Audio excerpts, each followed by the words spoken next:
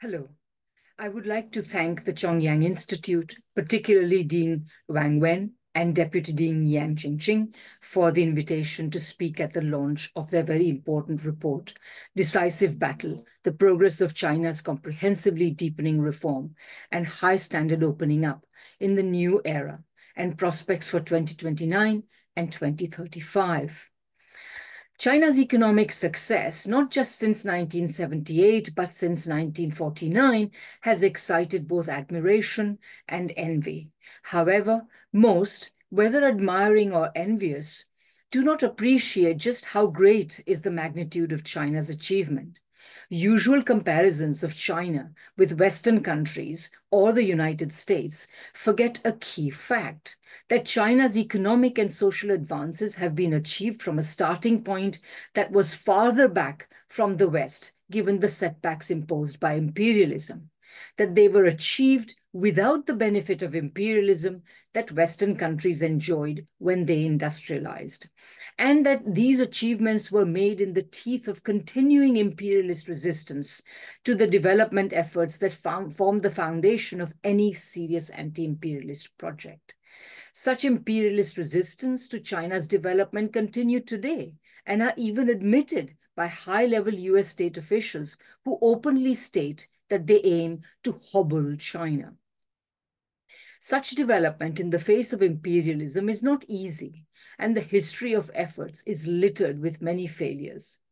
However, what the history of development of all countries, whether developed or still developing, tells us is that contrary to the usual advice given by the West to the rest of the world, that the best way to develop is by leaving the market to manage the economy, such laissez-faire market and free trade approaches to development are, in fact, surefire recipes for subordination to imperialism, economic retardation, technological backwardness, and poverty, and not for genuine and strong development. In reality, without some clearly defined state effort to foster growth, uh, technological development, and full employment of all resources in the most efficient way possible, no development has ever taken place. And this is a long process, and there are bound to be many failures, uh, hopefully temporary and local. But the reaction to these local and temporary failures cannot be the abandonment of the state-directed path of development. It has to be a determination to learn from the difficulties and failures and to try again. Too many countries have given up this effort in the favor of in favor of neoliberal free market free trade policies. Seen in this light, the resolution of the recent third plenum is exemplary.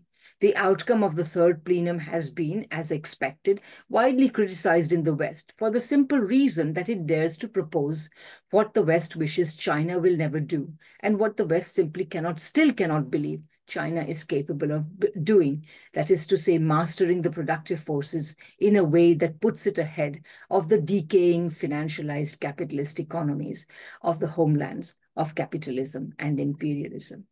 The Financial Times is typical. It foregrounded a disappointment that the plenum did not address the country's pressing challenges, uh, which, is, which it listed as slow growth, unemployment, poverty, uh, local uh, government debt, an aging society, and the risk of deflation. It perfunctorily lamented that the lack of assertiveness in resolving these deep-seated woes is a missed opportunity.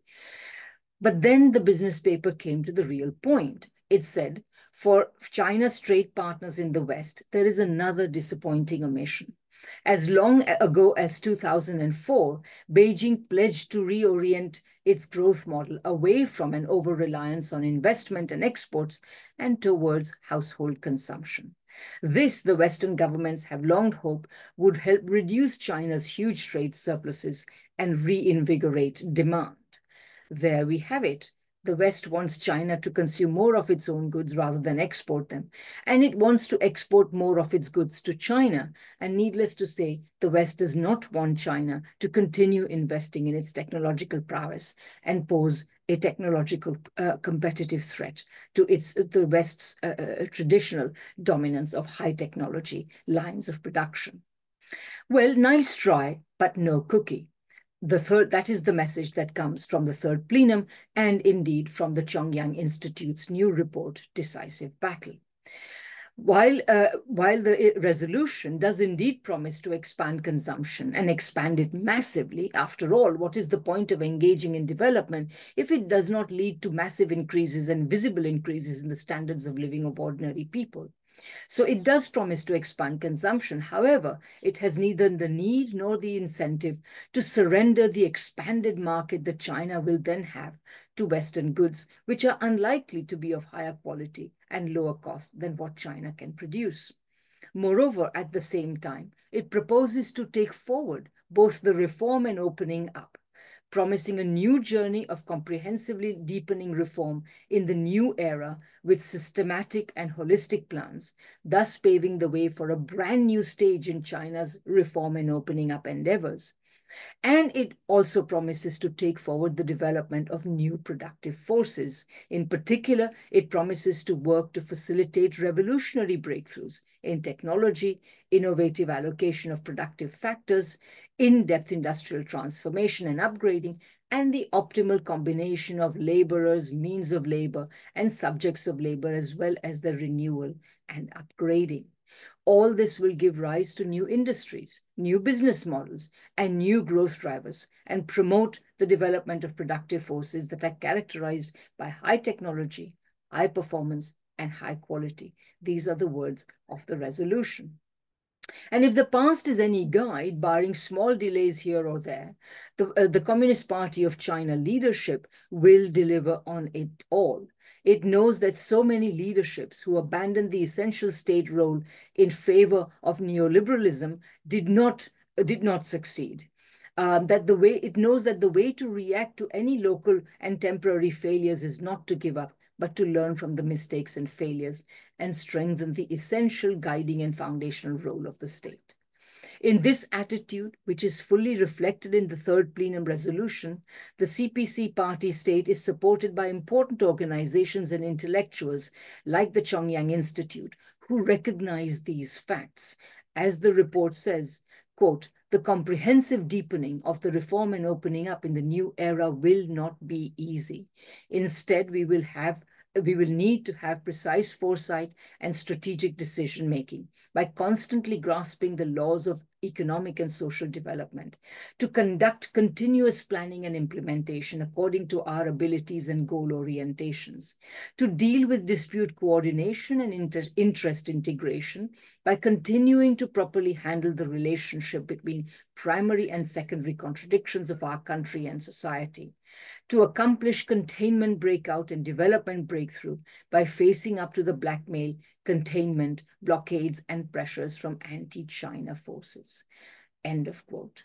This is the key reason why we may expect, that is to say, the clarity of the understanding of the CPC and the myriad of important organizations like the Chongyang Institute who support the party state's development efforts.